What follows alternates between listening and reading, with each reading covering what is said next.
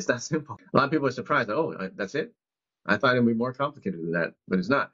I took out I took out the complicated part and then made it simple.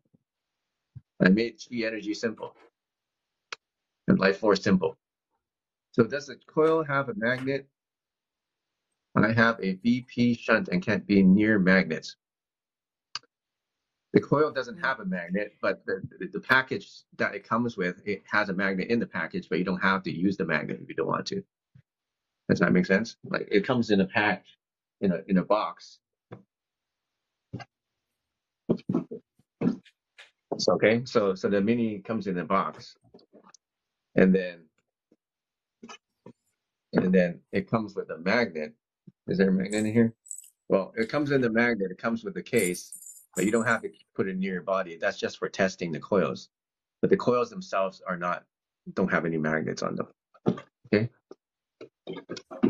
Um, now they do they do create a magnetic field, so so I'm not sure if that's going to be any issue for you.